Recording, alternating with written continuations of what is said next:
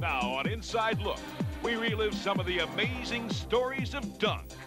My brother Dominique, playing against Milwaukee, they throw the ball to Dominique on the wing, and the whole team collapses on him. Down low for Dominique. Baseline drive. Dominique. Oh, my goodness! Did you see that jam?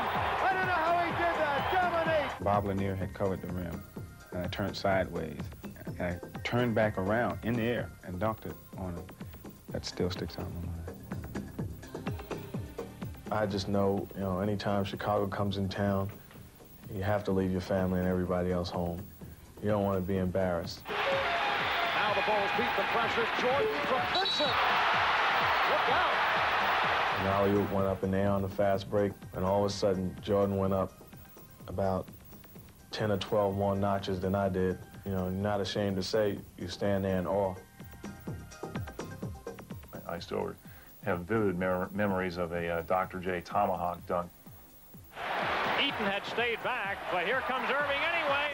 He went up over the top of me and came crashing down and about took the rim off the backboard and uh, just kind of left me standing there uh, with Spalding across my head.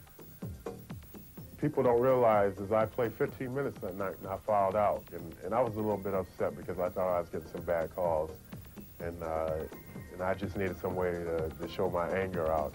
Kemp picks Mark Jackson, gets the give and go. Oh! It was no way that we thought he could dunk the basketball, but he proved us all wrong. Oh, please, let's see that again, a hundred times. I think it was one when Chambers uh, went over Mark Jackson. Uh, I mean, that was an awesome dunk. Two on one, KJ to Chambers, jam! Oh, boy. When he hit Mark, he was already high, but when he hit Mark, he went a little higher, and uh, he just tore the rim down. Dominique, it's a tip jam. He comes over about two of his teammates back and just jump right over one hand, just rolls it down through the hoop. I mean, it's just awesome. You, you see that, you'd be like, God. I'll tell you a story that I think sums the whole thing up. We was playing Chicago in Salt Lake. Uh, they switched and put John Stockton on him, and he turned around and dunked on Stockton. So some guy got up and almost followed him down the sideline said, hey, Jordan, pick on somebody your own size.